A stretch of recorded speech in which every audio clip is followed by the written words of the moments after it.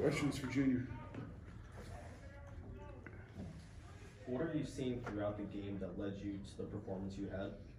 You know, just uh, you know, just the basics. Uh, Coach Joe just preaches a lot on you know just fine wine. You know, just finding the details, the small details. You know, just such as just you know tip of the pad or ending at the quarterback's feet.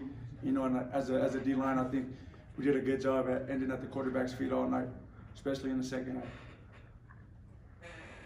Junior, um, so what is Coach Joe, does he give you like carte blanche to do out there? Cause I've seen a three-man front, four-man Roman, and to in the fourth quarter, you're like lights out all the time. So what, what kind of marching orders does he give you in this sense? You know, it's crazy. Uh, he gives us the, the most simple marching orders. You know, he tries to simplify the game as, as much as possible for the D line. You know, doesn't want to have us thinking too much. You know, just playing fast and, like I said, getting to the quarterback's feet every play.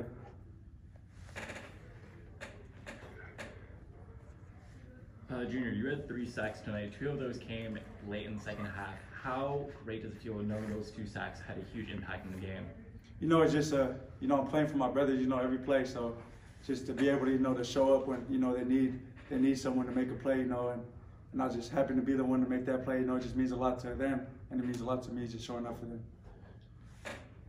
Junior, can you comment on um, conditioning and, and whatnot? Because like you're again, you're all four quarters you're playing hard, and Coach AP. I'm just kind of curious what that that's done. Yes, sir. It's just uh during the week, you know, just getting the extra in the weight room, such as you know, just little bike sprints, you know, intervals, and just just the little things. You know, I'm not I'm not able to take as many reps during the week, so I got to find different places and different areas to get my conditioning in. How would you describe the emotions you guys had uh, in the days leading up to the game today? Uh, just I, I'll describe it with just the word love. You know, just everybody's just loving each other up all week. You know, it's at an all-time high this week, and you know it showed tonight being able to play all four quarters.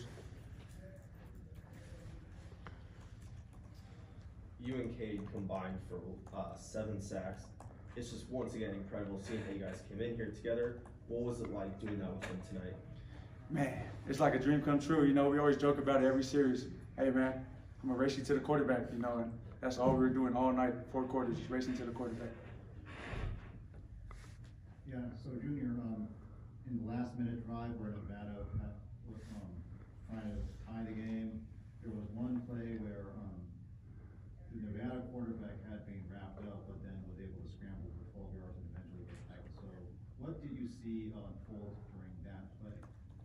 Uh, you know, just just got to keep playing. You know, uh, no matter good or bad, what happens on the play, we just got to keep playing, rally. You know, get population to the ball. So at the end of the day, we just got to react and keep playing. Hey um, how emotional was that, uh, lean on me, uh, song Man. at the end with all, with all your teammates? You know, it just means a lot to us. Uh, brotherhood is, is all Coach Brennan preaches. You know, brotherhood and family and culture, and just you know, just being able to, you know, put that on display for the whole San Jose to see. You know, just, gives them gives them a glimpse of our, our little family that we have here in Sefton. Any more questions for Junior? All right, thank you. Thank you.